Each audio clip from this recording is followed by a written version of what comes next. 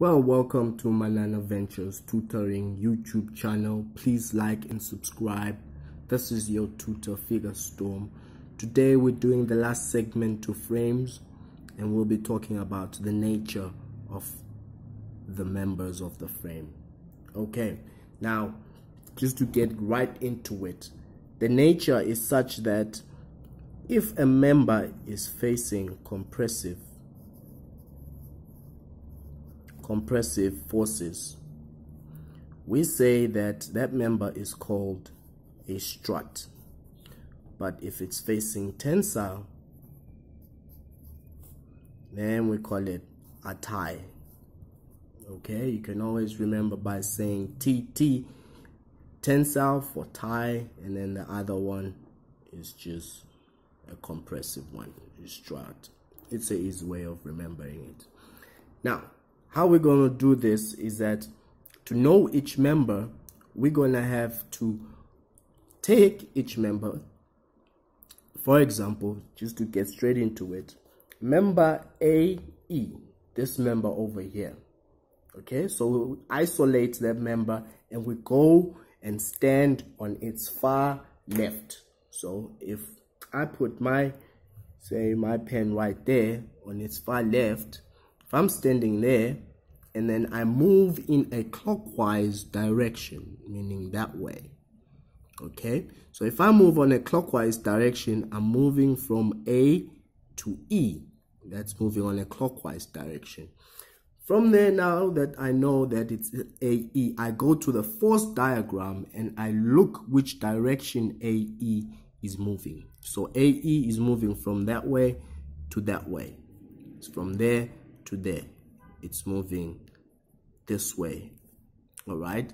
So I take that very um, that very direction and I place it there where I was standing. Okay. And then I just to balance the force, I put the equal but opposite um, direction. Now, what this member is doing is that it's it's trying to pull itself apart. Okay? It's trying to pull itself apart which means it's facing a compressive a compressive force that's making it a strut. So we go there and we're to write strut. Okay? The next member is ed where is ed ed okay so that's that member ed it's that member there. And then we go to its far left its far left is right there. We move on a clockwise direction. We're moving from e to d okay? Now that we've we've established e to d we go to our force diagram. There's e and there's d. So moving from e to d we are moving on that direction there. Moving that way. Okay i take that direction i put it right there where i was standing okay and then i balance it. Okay so what's happening here? This member is trying to push itself together. That means it's expressing tensile forces okay and that's that makes it a tie. So we go right there the nature is such that it's a tie. The next one is EF. Okay, there's EF, so it's that member there. Okay, we go to its far left. Its far left is over here. Okay, and then we move on a clockwise direction and we hit FE. So we go FE. We've established that. We go to our force diagram. There's F right there and there's E. So it's moving that way take that direction, put it right there where we were standing, and then we balance it. Okay, so what is it doing? It's trying to push itself together. That means it's experiencing a tensile force that's making it a tie. Okay, the next one is FB. All right, FB, where's that member FB? FB okay that so it's that member there we go to the far left which is right there of FB. Okay, so we and we go move clockwise. If we move clockwise, we're moving from B to F.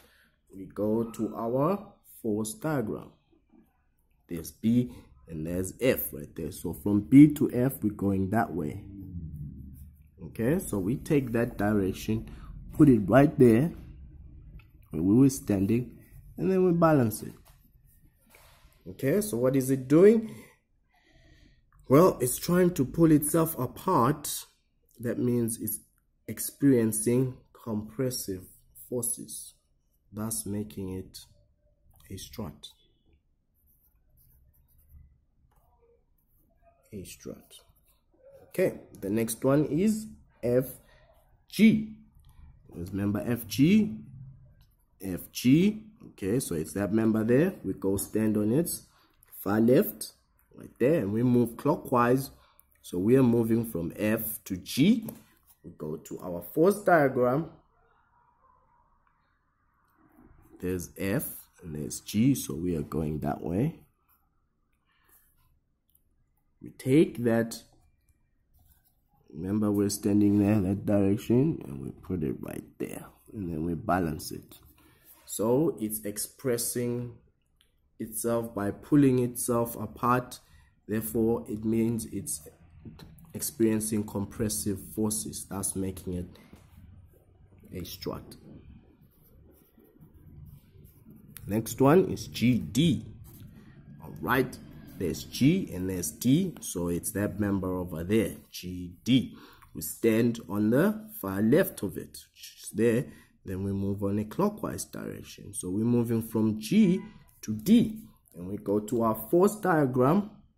We look for G, there's G, and then there's D. So we are going, we're moving GD, we're moving that way.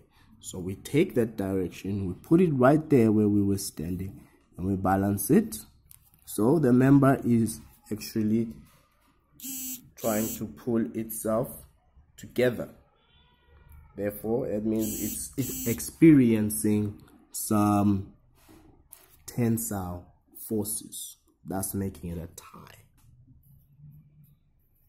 Okay. The last one is gc gc so it's this member over here.